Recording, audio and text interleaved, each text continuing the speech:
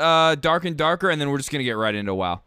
But I just want to, even though we don't really play this game that much, you know, we're gonna play it eventually, and I just want to know what's going on with the game, what to expect. Oh, hi, hi, hello. Uh, my name is One Peg. Uh, this video is about the podcast that happened late last night in well, my time zone late last night. It was like two something hours. I'm not Parks, watching the that. CEO of Iron Mace Games to discuss the upcoming mid-November patch, which, for those of you that want to know, is going to be slated for November 22nd, Wednesday, November 22nd, in the GMT time Live zone. stream fail to have been lacking. evening Well, uh, it's the, the 23rd in Since Korea, everyone's when been on WoW, I don't know. office in the I've been morning, uploading that's every day live stream fails reacts that I've uh, really been liking, and I've been like clipping That is at least the individual ones. Obviously, it could get delayed, but we will But see. that today was Just boring as for fuck. ground rules, this conversation did Just not have anything sometimes to do there's with slow days on bug fixes. LSF. It had nothing to do with mechanics or class balance changes. All of those discussions are in SDF's wheelhouse, not Terry's wheelhouse. Terry was there to talk about content for the upcoming patch. Okay. Now there could be balance adjustments that come out with the patch. I don't really know. We will have to see. Also, no discussion in regard to anything legally speaking or the game coming back to Steam. Now, I can tell you that the reason why it hasn't shown back up on Steam yet is because the Korean court has not made a preliminary decision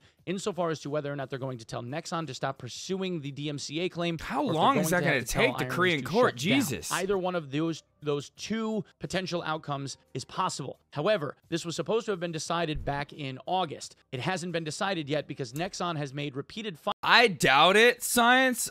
They might add the druid, but that might. I think they said a while ago that's not going to come till the end of the year, if not next year.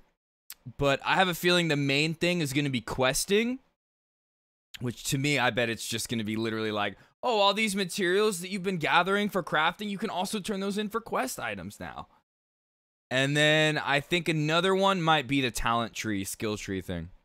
Filings to the court prior to this decision being made, trying to show further evidence, even though this whole process was supposed to have had its doors closed to any new evidence, but they're still going. The judges, what I've been told is the judges in Korea are human, and therefore feel as though they need to give credence to any new evidence that were to show up. So they're going to listen to what Nexon has to say. And then, of course, Iron Mace has to respond, which further delays this process. So we don't have any type of preliminary decision or whatever from the Korean court as of yet. Because it's being delayed, though, it does look as though it's kind of swaying in Iron Mace's favor, given that if Nexon really had the proof that they did, they'd be able to just kind of close the door on this and be like, there you go, here's everything, just nail them to the wall. And they haven't been able to do that yet. So I don't think Dark and Darker is going anywhere for any time in the near future, which is good for us and good for them relisting on Steam at some point in the eventual future. It's just a matter of, I guess, getting the paper trail to stop being a paper trail. What Anyway, card- oh, is it that wrestling card about, game, Booty? uh, a lot of content stuff. That's what it's going to be about. Anyway, um, uh, unfortunately, it seems as though it's a little lackluster for a lot of the people in the player base and the audience, worried that there isn't going to be enough content to be able to uh, really sink their teeth into. Now, uh, Terry Nice, dude. agrees with this. However, they want something that's going to be ready, and they don't want it to be something that's going to be um, feel as though it's just a carbon copy of something we've already done. So, with that, Okay. there are a couple of things that will not be in this patch. The first is going to be the new map. Uh, that is looking Okay. like maybe another month, maybe another six weeks from now. And the reason why is because of the AI. That new map looked really map, cool. and it felt as though it flowed just like how Crypts did, and didn't feel like a new environment or new encounter. I can tell you that the map is going to be an ice biome. There's going to be uh, frost and ice, frozen types of creatures, and eventually the boss in that area will be an ice dragon. There will also be like frost giants, ice giants. Um, really cool uh, ideas and very interesting, but unfortunately they didn't have any new media to share with us. But Okay. the AI, the monsters involved in this, are all being created by one person. Every monster type and their their movements, their behavior. Wait, so there are these like brand new AI? Because a lot of their AI that they have, they get from the Unreal Marketplace. So is this somebody that's actually making this stuff like custom for Dark and Darker? The attack patterns that they have are all being created by a single person in the office. That's They what it sounds have like. one modeler that does this type of work. They're looking for more, but they've run out of space and they're trying to find new people to hire to be able to assist them in building this stuff up. But for the time being, they only have Oh, that's good, Booney. and that's the delay. More or less. So you get a little bit of time We won't have a new map. before We work. also will not see the druid at the point in time. Yeah, patch Norse mythology Again, they frost wanted to have the druid be released, but they don't have the druid to be uh, available as of yet. Mainly because the Okay. shape shifting mechanic is starting to uh, cause issues with where That's the what I camera thought. I didn't think the druid would come the yet. They- they the said that that wasn't gonna happen this shapeshift into, patch, like, though. A bear. But for those of you wondering, there will be a bear shapeshifted form. You will turn into an actual bear. Something we've speculated for a long time. You can shapeshift. Damn, dude, you're actually gonna turn into a bear. This is gonna- I don't know out, about this. See some initial. Uh, I just initial- don't like we that. I've never liked that idea, Introduction and- of the druid, uh, hopefully with uh, within doing the it. next month or so by Christmas. The the plan is to try to get the ice map. I and mean, the druid, get uh, fucked. I don't really play the game anymore, so I don't really care, December but- as like a Christmas release. One other Maybe the one time I play in it in the patch, future, I'll be like, "Oh, I don't like this," or maybe I'll like it. Later don't know, we'll patch, possibly even by January, is an auction We'll house. see. Really not an auction house, more of a flea market where you're just gonna have buy it now listings. You know, you list. I I just like to me like coming around the corner and seeing a bear running down the dungeon just is gonna not be anything that's like it's just gonna be funny. It's not gonna be anything that's like oh my god that's so badass. It's just gonna be like comical. for 100 gold or whatever it's going to be. That's what they're looking to add. So the cries of the public have been heard. Fourth coming in with a gift sub. With a gift sub, I care about that. I don't really care about the druid. But I care about that.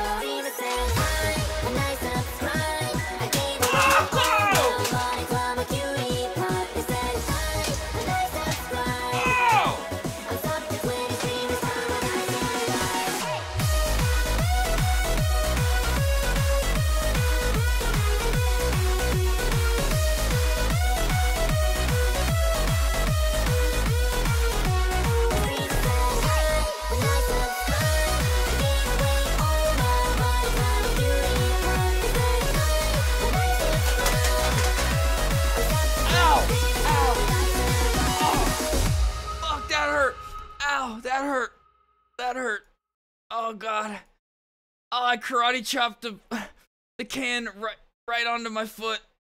Oh, it went down so hard on my big toe. Fuck. Oh god, that hurt. Ow. Ow. Shit. Oh fuck. Oh god, that hurt. Oh. Oh, but could you guys see the? Could you guys see the? Kicks? I literally kicked it with the, my my foot. It was like, bah, bah.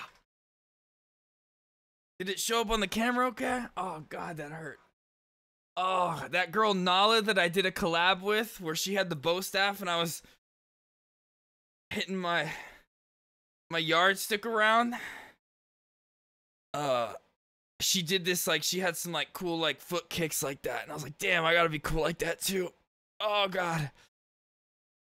Uh, banning all the mods right? No, just a bomb, just a bomb. Everybody else, science, Booney, they uh, they all deserve it. Ju- but the bomb though, get get him the fuck out of here. Okay. heard. Terry has agreed. SDF has agreed. They are going Oh, to build us some type of flea market Forrest, system thank that you will so much allow for the us to gift sub, bro. list items for sale and obviously allow us to purchase items that Oh, we need shit. without having Oh, only one of Banzook. That one's reasonable too. That one's reasonable. I understand that. I understand that one. Oh god, that hurts. It like my foot stings. I think I broke my big toe. Can't do anything about that though. Just gotta let it heal. Um, but yeah, okay. Back to this. I've never been a fan of the druid idea of them turning into a bear. I was like, oh, maybe they'll get like bear claws or something, and they'll have like a strength buff for a little bit. But we're gonna be coming turning around the corner, and there's gonna be a literal bear running at you in the dungeon, and I just, I don't know. I think that's just more comical. It's not like anything that's like, damn, that's badass. I don't know. In a game like WoW, it's totally cool and amazing, but in a game like Dark and Darker, I just don't like the idea. Having the It's definitely something that'll make me play less. I feel sitting like. in and watching a Diablo 2-esque trade chat scroll by. However, Diablo 2 trade But chat I already don't play anyway, system so. will still be included in the game to be available for friends and whatnot to be able to trade items between each other. So never fear, don't fret. That stuff will still be available for all of us to be able to trade amongst each other. Okay, insofar as what is included in the patch, here's what I've got. First is a ranked system for High Roller. There's a new, brand new High Roller ranking Okay, they're system doing another going to be ranking system, The re- idea behind this is that people will be able to earn themselves titles, and through those titles, there will be certain levels of uh, awards, rewards, treasure, loot, whatever that will be awarded to that person at the end of the season. So this is like a full seasonal journey throughout a three-month period of time, whereby through High Roller you're able to earn higher and higher rank marks that will denote you as uh, earning cooler and cooler stuff. At the end of the season, when the new season switches, so again, every three months being what it is, this would be December, January, uh, February, say, uh, of, of 2024. When the season ends, Oh, you all of those rewards that? would be then given to you at the beginning of the following season. So Wait, hold be on, able what? to start kind of with a jump start into the following seasons thereafter. So What do you say?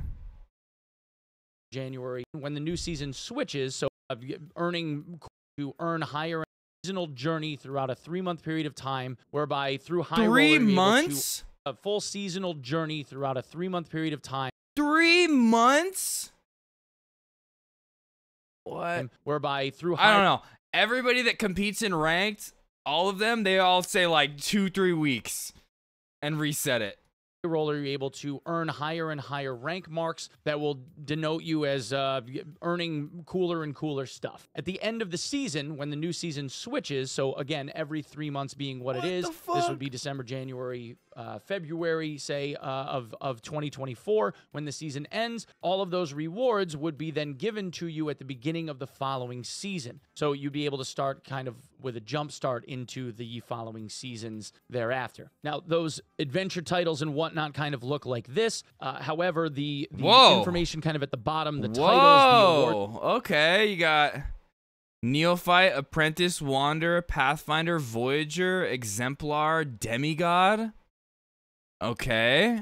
Themselves, all of that stuff is complete placeholder information. So please don't assume that that is what you're going to get. They actually don't know just yet how they're going to set those awards up and what those rewards are going to be, but that will be more or less the form of what it's going to be. So this is what it will roughly resemble. Um, then there's going to be an inclusion of a high roller results screen. So you, at the end of each high roller round, you will see if there was any progression. What, I think this should just be in everything. This should be in like the normal crypts too. They shouldn't just have this in the high roller.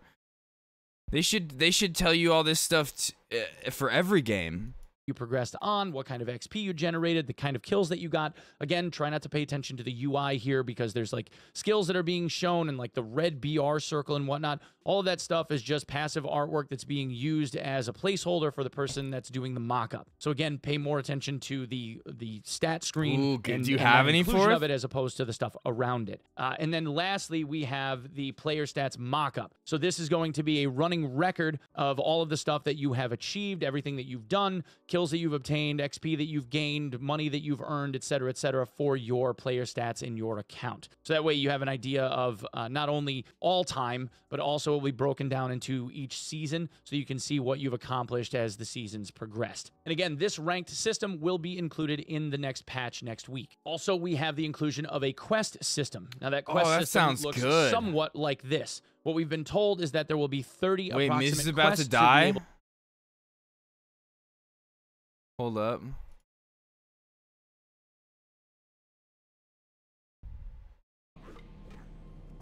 Join QVC Fuck! all season long. Okay, god damn it, Twitch.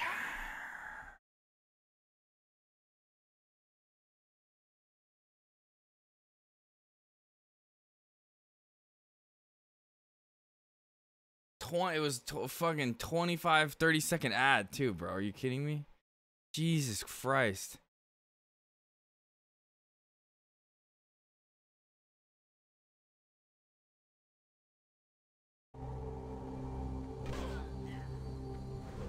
Oh, he ain't dying. He ain't gonna die. I know this place, so this is a this is a sketchy place to be questing. But no, he's got a healer. He's got Emmy there. That's crazy. They're both caught up to each other again. But that's the power of Fangsley right there.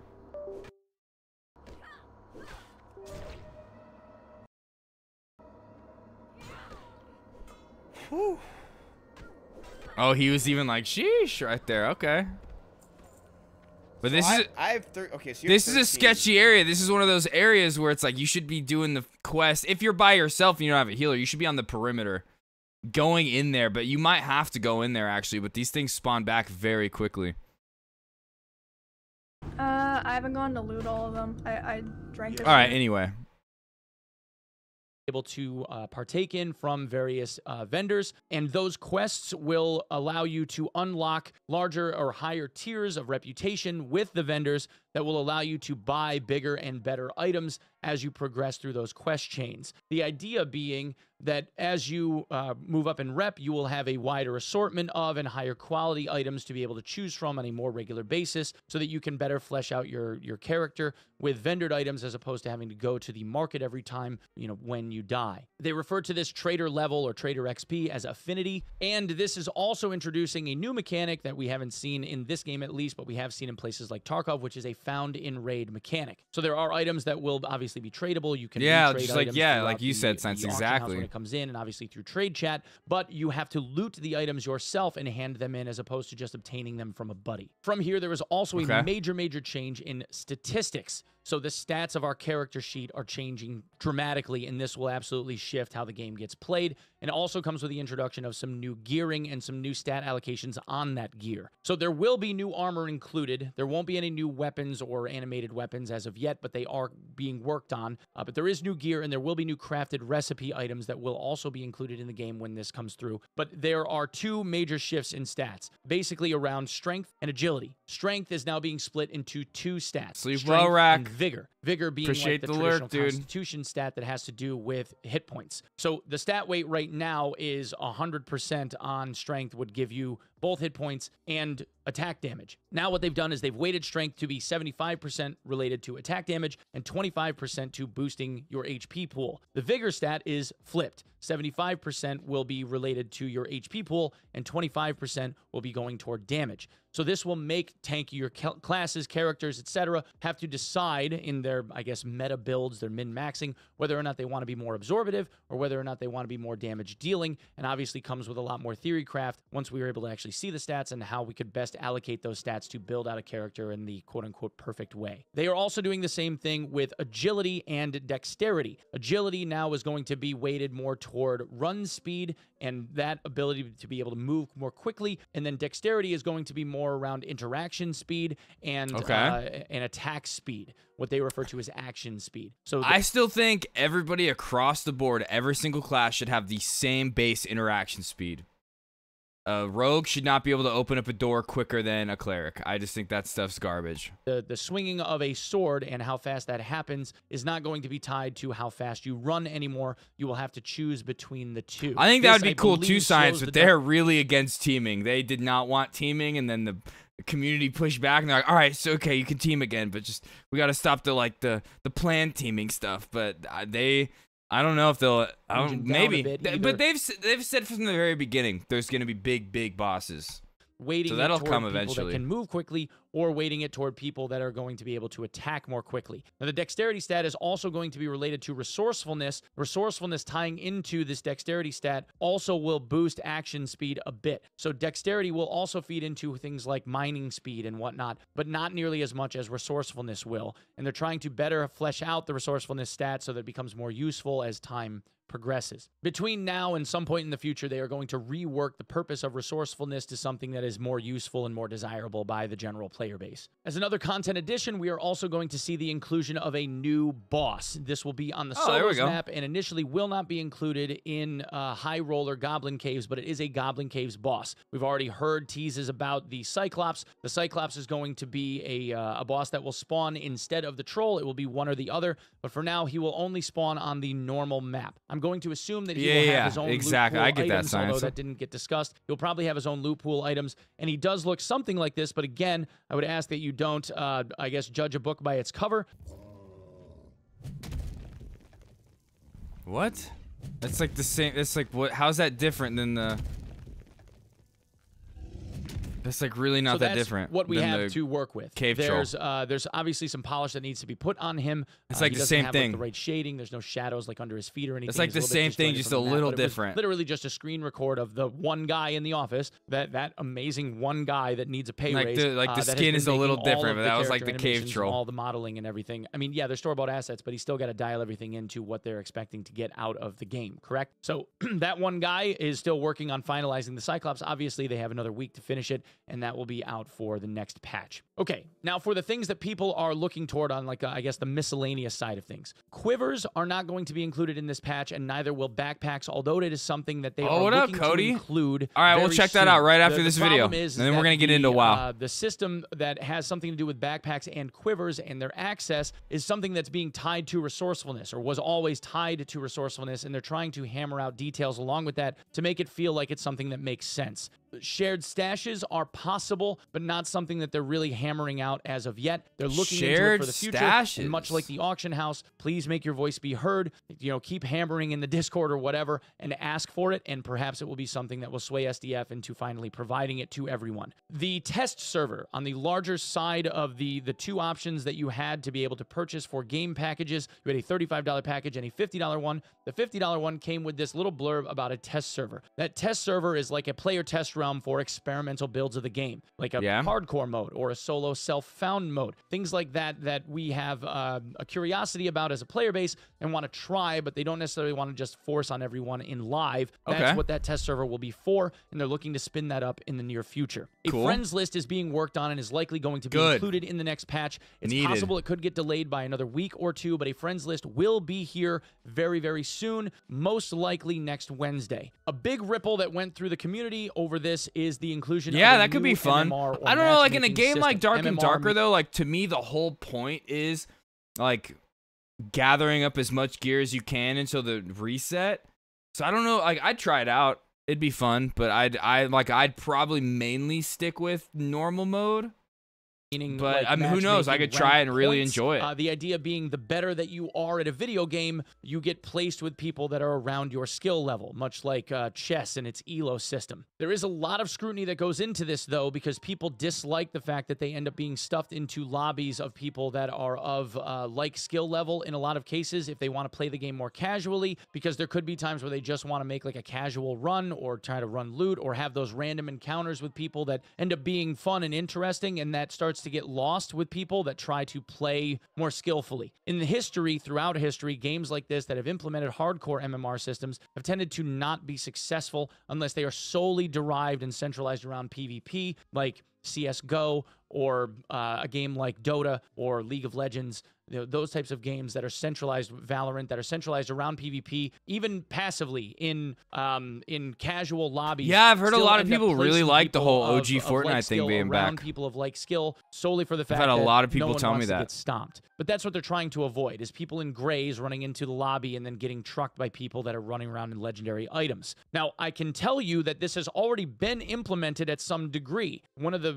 revelations of the podcast was that for the last few days, this MMR system has already kind of been running in the shadows thanks to a cryptic message that SDF left in the Discord. That matchmaking system has already sort of kind of been going on. So if you've been feeling like every once in a while you're ending up in a lobby where there's a bunch of Timmies running around that have no idea what they're doing and you're kind of scratching your head as to why, that's why. It's because you got steamrolled for a raid or two or three in a row and it started putting you in lobbies with people that weren't necessarily as good as you are let's say. Conversely, if you've run a bunch of matches in a row and you've done really well, you could suddenly find yourself and uh, and ended up against guys in purples. It's kind of just what's been happening. However, this isn't the final iteration of that MMR system. There is a very very large revamp of this system that's being included, and according to Terry, he believes that we might be pleasantly surprised by it after the patch goes live. I I have my reservations. I'm not going to lie. I do, because I worry about MMR systems like this. But if there was ever a time to be able to try something, it would be now. We are in an alpha test. Might as well try it. Somewhere around January ish, they are going to include uh, your chambers. So think of it as you're an adventure. How long do you think this game's gonna be in early access? In a tavern. You will have the I don't mind. I'm not- I don't- I'm not criticizing it at all. Just you can then wondering, what do you guys think? Eventually, at some point, there's going to be the beyond a things like year? trophies. You'll be able to hang trophies on your wall if you get large boss kills and whatnot. Is Um, Iron Mace the type of dev company that's gonna have a game in early access for five plus system, years? passive crafting and whatnot that you'd be able to accomplish. I'm hoping it's just like a player to be able to feel like you've made some amount of I hope it's not as long as seven days to die. Like, that's- I- I would get mad if it's like a to forever early access should game. Speak to this as well on the new map that they're toying with. They're toying with the idea of not having a BR circle. I hope with all, that, like, which would be after a year, year and a half, maybe with. two Instead, years, utilize the they more, have uh, it the to where they're having fixed do a full release. that we've seen in like the last iteration of the game, where you have these uh, these fixed locations, these What up, extract Volk? locations that open up randomly uh, on the map throughout uh, throughout the map as you're moving through it. They're trying to toy with that idea on the new map once the new map releases, and they're also looking at more tweaks and finalizations to those fixed portals on uh, on, the Crypts map uh, as as time goes on, just to get people an idea of what they're trying to finalize, whether it's too abundant or not abundant enough. They're kind of tweaking that in, and they think that they're kind of honing in on where that's supposed to be. Terry ended the podcast by stating just aloud that he really appreciated the player base's support and everything. Um, it's been overwhelmingly positive for the most part. And I guess I should also speak to this. We did talk very briefly about player numbers. There's a lot of people that uh, have talked about how the player uh, numbers have been dropping off at a rapid pace, and it's nowhere near what the concurrent player counts were because you can see them in the player list if you go and look at it. Uh, Terry actually said that when they were originally pitching this idea for a game to potential investors, they were pitching the idea of having 3,000 concurrent players as a peak. Right now, we're looking at peaks of somewhere around 15 to 18,000, even though the game Damn. is where it is right now, and a lot of people have complained about how boring it is and how there's nothing to do. And I agree. Oh, damn, Um, that's a lot of around V-Bucks for daily challenges. Still about That's cool. 5x higher than what they had anticipated they were going to Booney, I hope you feel like you got your points and worth They that. are I hope really you did. happy with what the concurrent player base is looking like at the moment, considering the lack of stuff there is to do. So, in terms of them at, at Iron Mace, they're looking at the current player base counts as something positive, and uh, and they they actually like what they've seen. It's exceeded their expectations. Now, obviously, they want to have higher player retention now that they've seen that the game is relatively popular, and they're working on that. But if you're one of those folks that is looking at this like the game is dying or it's a dead game and whatever, just understand that from their perspective, they're looking at this as a wildly successful enterprise already, and they're just trying to build upon that IP. And Terry went so far as to say that he really game's definitely not dead. He got from everybody um, throughout the the course of time that they've had to deal with the legal issues that they've had, and he looks forward to supporting. It's just some of the hardcore streamers that love that He's aren't really listening playing as much anymore. They all are, and they're trying to be as responsive and receptive as they possibly can be. And I, for one, agree. I don't feel as though this is like a money grab situation at all. I feel as though the devs are on top of things. I feel as though I genuinely feel as though they listen to people. And look, I'm coming from a background of of Tarkov, right, where for a long time I felt as though the devs really didn't care, and in some regard, I feel like they tend to blatantly overlook egregious issues that we would really love to see remedied. But I do not get that vibe from this dev team. I genuinely feel as though this is a bootstraps operation where they are trying their damnedest to please everyone. Oh, God, he said the bootstraps task, and they're trying to be as receptive to the player base and as reactive. I wonder if that's something one peg talk says in Israel. If like, you just gotta pick yourself up by your bootstraps. responsive to the player base's wishes as they possibly can while still trying to generate something that is within their vision. And I got to respect it. I, I'm sure there are people that are going to be very critical of the lack of content that is being presented in this patch. And I am also disappointed. I don't want to say that I'm not. I would love them to be able to work faster and get us more stuff to do because of how much we all love this game. But if I may be I don't think so. I don't think they need to be forced to work faster. I like I said, I hope it's not an early access game forever. But I don't. I I, I honestly think people. It's like a lot of the streamers and stuff want content like this. They're like, we need new content. We need new content. They put out an update. Two weeks later, okay, we need another content patch. We need new, more content. More content. I feel like they're pushing them way too fast. So bold, I would rather see something that is close to being complete when they give it uh, to us as an offering and something that we can actually enjoy as opposed to just slapping some content in front of our faces for us to then critique as Yeah, I agree with that. I- they need to take their ready to have time. been presented to us in the first place, if that makes sense. Anyway, guys, thanks so much for coming and checking out the video. If you Okay. be so kind as to sub the channel here, I would love to That was good. But let's play some WoW.